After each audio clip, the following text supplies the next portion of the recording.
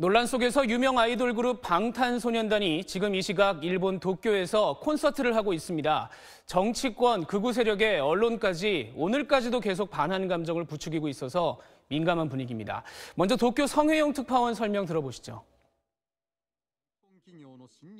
한국 대법원의 판결 이후 일본 정치권이 조장하고 있는 반한 감정이 일본인들 속으로 확산되는 것으로 나타났습니다.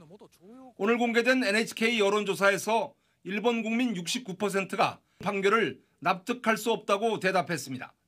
56%는 국제사법재판소에서 시비를 가려야 한다고 응답했습니다. 今般の判決は国際法に照らしてありえない判断であります。日本政府としては毅然と対応してまいります。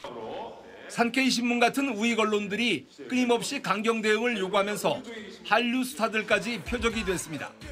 일본 TV들이 방탄소년단 출연을 잇따라 취소한 데 이어 한국의 사기 조직이 일본 여학생들을 대상으로 K-팝 관련 티켓 사기를 자행하고 있다는 보도까지 등장했습니다.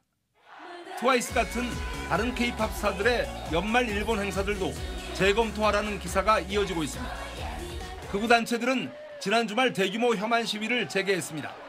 2012년 이명박 전 대통령의 독도 방문 때처럼 한류를 몰아내자는 노골적 선동도 등장했습니다. 일부 정치권과 언론, 극우 세력이 손을 잡고 반한 감정을 키워가려는 기색이 역력합니다. 도쿄에서 SBS 성혜영입니다.